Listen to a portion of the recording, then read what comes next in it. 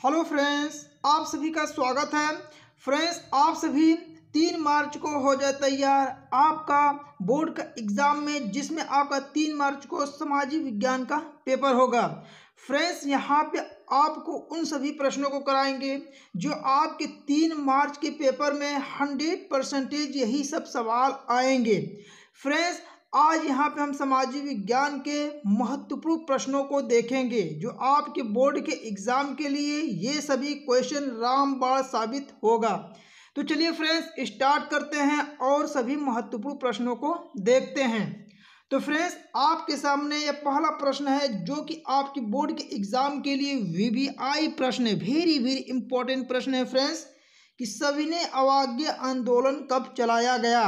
तो फ्रेंड्स इसका ऑप्शन है 1920 1927 1930 1935 तो फ्रेंड्स यहाँ पे आपसे पूछा गया है कि सभी सविनय अवाज्ञ आंदोलन कब चलाया? तो फ्रेंड्स सवाज्ञ आंदोलन आपका है 1930 में चलाया गया था तो इसका सही प्रश्न होगा 1930 फ्रेंड्स इसके साथ आप याद रखिएगा कि सविनय अवज्ञा आंदोलन किसके द्वारा चलाया गया था? तो ये चलाया गया था महात्मा गांधी जी के द्वारा, ठीक है? तो सवाग सविनय अवज्ञा आंदोलन किसके द्वारा चलाया गया था? महात्मा गांधी जी के द्वारा चलाया गया था। कब चलाया गया था? तो 1930 में चलाया गया था। इसको साथ में आप याद रखिएगा। चलिए फ्रेंड्स अगले सवाल को देखते हैं। तो आपके सामने ये अगला सवाल है, जो कि वेरी वेरी इंपॉर्टेंट देखिए फ्रेंड्स इसमें जितने भी प्रश्न लिए गए हैं, आपके बोर्ड एग्ज़ाम के लिए वीवीआई प्रश्न है, ठीक है? इसमें एक भी क्वेश्चन को आप स्किप मत कीजिएगा। देखिए, आपके सामने सवाल है। कि महात्मा गांधी ने पहला सत्याग्रह कहाँ किया था, जिसका ऑप्शन है चंपारण बारदोली अहमदाबाद या खेड़ा? तो फ्रेंड्स, जो महात्मा गांधी जी ने पहला सत्याग्रह चलाया था, वो चंपारण में चलाया था। इसका पहला इसका सही जवाब होगा चंपारण, इसका राइट आंसर होगा ए चंपारण। फ्रेंड्स आप इसके साथ में याद रखिएगा कि जो महात्मा गांधी हैं, अफ्रीका से भारत वापस कब लौटे थे? तो उसको याद रखिए कि ये भी बहुत ज़्यादा क्वेश्चन पूछता है, कब लौटे थे? 1915 ईस्वी में महात्मा गांधी अफ्रीका से भारत लौटे थे और उन्होंने पहला सत्याग्रह चलाया था, चंपारण सत्याग्रह।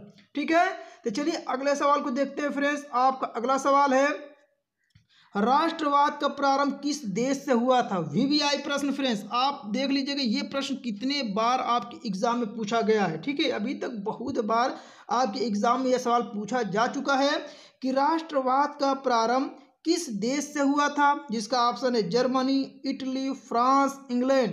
तो इस प्रश्न का सही जवाब होगा फ्रांस, ठीक है? इसका सही जवाब क्या होगा फ्रेंड्स? फ्रांस। तो राष्ट्रवाद का जो प्रारंभ हुआ था, फ्रांस देश से हुआ था। चलिए अगले सवाल को देखते हैं फ्रेंड्स। देखिए, अफीम कहाँ निर्यात किया जाता था? तो फ्रेंड्स, यहाँ पे ऑप्शन है आपके ब्रिटेन में किया जाता था, चीन में। बर्मा में या फ्रांस में। तो फ्रेंड्स, निर्यात का मतलब ये होता है कि जब कोई देश अपने देश से कोई सामान दूसरे देश को बेचता है तो उसे बोलते हैं हम निर्यात। ठीक है?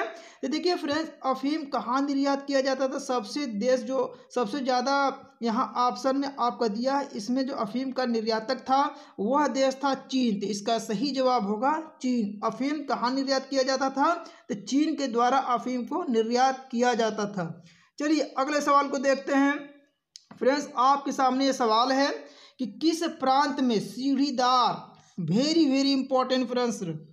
Very very V I प्रश्न है आपके बोर्ड के एग्ज़ाम के लिए फ्रेंड्स। जितने भी प्रश्न कराएँगे फ्रेंड्स, आपके बोर्ड के एग्ज़ाम में वीवीआई प्रश्न है। ठीक है, एक भी क्वेश्चन आप स्किप मत कीजिएगा। देखिए क्या है। किस प्रांत में सीढ़ीदार, अर्थात सीढ़ीदार को आप साथ में याद रखिएगा, सोपानी, ठीक है? कभी कभी ऑप्शन में सोपानी मिल जाता है तो सीढ़ीदार खेती की जाती थी, जिसका ऑप्शन है पंजाब, उत्तराखंड, यूपी, हरियाणा इसका सही जवाब होगा उत्तराखंड। उत्तराखंड में सीढ़ीदार खेती की जाती थी। चलिए, आपका अगला सवाल है, भारत में सर्वाधिक उपजाऊ मिट्टी है? इसका ऑप्शन है जलोढ़ मिट्टी है, लाल मिट्टी है, या लेटराइट मिट्टी है, या पर्वती मिट्टी है।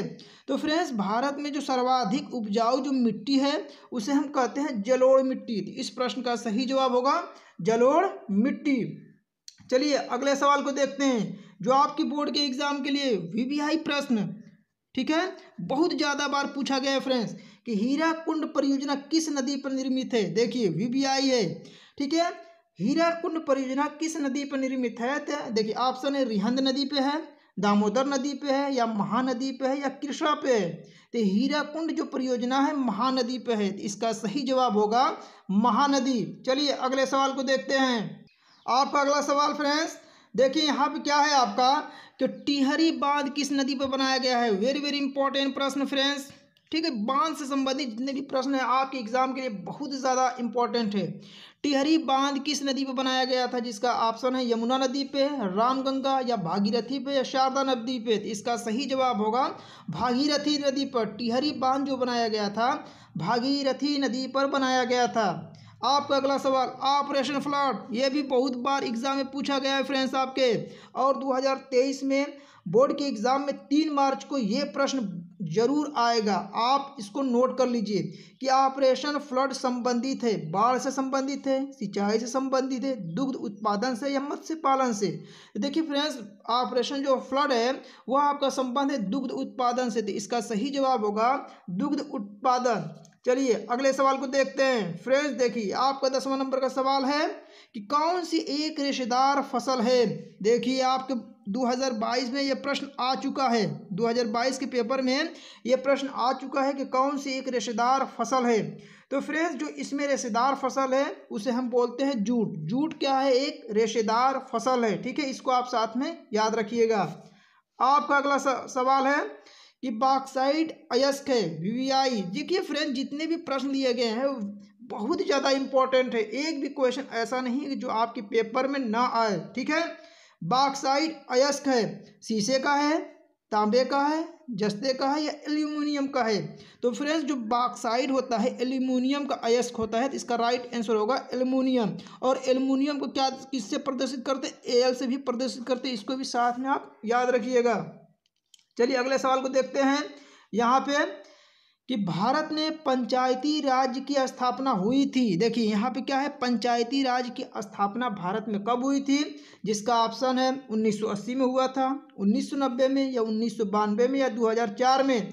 तो भारत में जो पंचायती राज की स्थापना हुई थी, उन्नीस सौ बानवे में हुई थी। ठीक है तो भारत में पंचायती राज की स्थापना कब हुई थी फ्रेंड्स? उन्नीस सौ बानवे। चलिए, अगला प्रश्न। एक मार्ग से संबंधित वी वी आई लगा लीजिए फ्रेंड्स, बहुत ज़्यादा इंपॉर्टेंट है। एक मार्ग किन वस्तुओं के लिए प्रमाणित चिन्ह यानी एक मार्ग जो होता है, किसके लिए चिन्ह का प्रयोग करते हैं? देखिए, उपभोक्ता वस्तु के लिए करते हैं, सेवा वस्तु के लिए करते हैं, या खाद्य वस्तु के लिए, या इलेक्ट्रिक के लिए।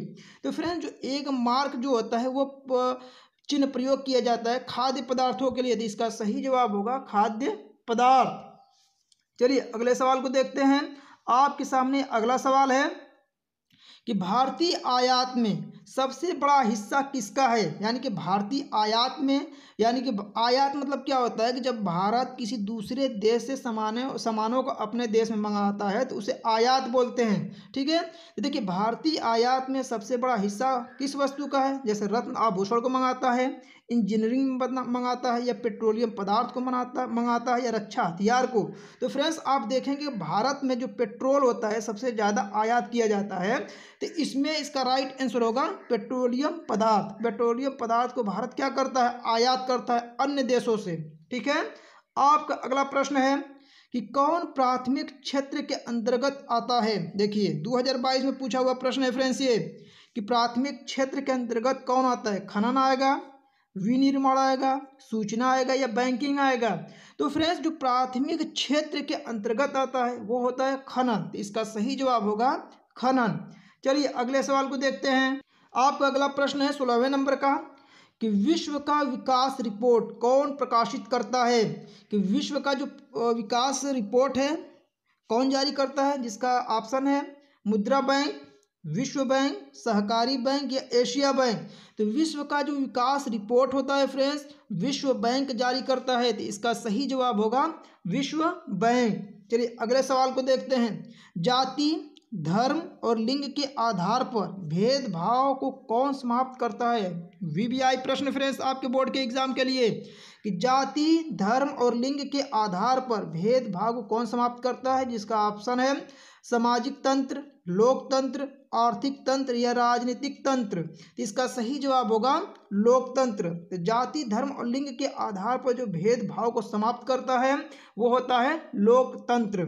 चलिए अगले सवाल को देखते हैं फ्रेंड्स जो आपके एग्ज़ाम के लिए वी वी भी इसको भी लगा लीजिएगा। ठीक है? क्या है? कि भारत में महिलाओं के लिए आरक्षण की व्यवस्था की गई है। यानी कि महिलाओं के आरक्षण की व्यवस्था किसमें किया गया है? लोकसभा में, विधानसभा में, मंत्रिमंडल में, पंचायती राज की व्यवस्था में। देखिए फ्रेंड्स, यहाँ पे पंचायती है। ठीक है? पंचायती राज की संस्था में। तो फ्रेंड्स, इसका सही जवाब होगा आपका डी, पंचायती राज की संस्था में महिलाओं के लिए आरक्षण सीटों की व्यवस्था की गई है। चलिए, अगले सवाल को देखते हैं, जो कि आपके एग्ज़ाम के लिए, ये भी वी है। आप कई बार पेपर में देख चुके होंगे कि किस समवर्ती सूची में शामिल किया गया है, यानी किसी, किसे समवर्ती सूची में शामिल किया गया है? शिक्षा को कृषि पुलिस को पुलिस को या रक्षा को? तो फ्रेंड्स इसमें आपका सही जवाब होगा शिक्षा को। तो फ्रेंड्स शिक्षा को आपको समवर्ती सूची में शामिल किया गया है। आपका अगला प्रश्न है कि भारतीय निर्यात व्यापार की वस्तु है। देखिए फ्रेंड्स अभी निर्यात का मतलब बताएँ आपको, जब भारत किसी दूसरे देश को सामान भेजता है तो उसे करते हैं निर्यात। आयात का मतलब होता है कि जब भारत किसी दूसरे देश से किसी वस्तु को अपने देश में मंगाता है तो उसे बोलते हैं आयात। तो आपको आयात और निर्यात से कंसेप्ट समझ में आ गया होगा कि भारतीय निर्यात व्यापार की वस्तु है। कौन सा है? खनिज तेल है, दवाइयाँ हैं, कपास है या चाय है? तो इसका सही जवाब होगा चाय। तो भारतीय निर्यात व्यापार की वस्तु क्या है फ्रेंड्स? चाय। तो फ्रेंड्स, यहाँ पे आपको वीवीआई प्रश्न आपको बताए हैं। फ्रेंड्स आपको इसी प्रकार के वीडियो प्राप्त करने के लिए, यदि वीडियो वीडियो पसंद आए तो वीडियो को लाइक करें और चैनल पर नए हैं तो चैनल को सब्सक्राइब करें।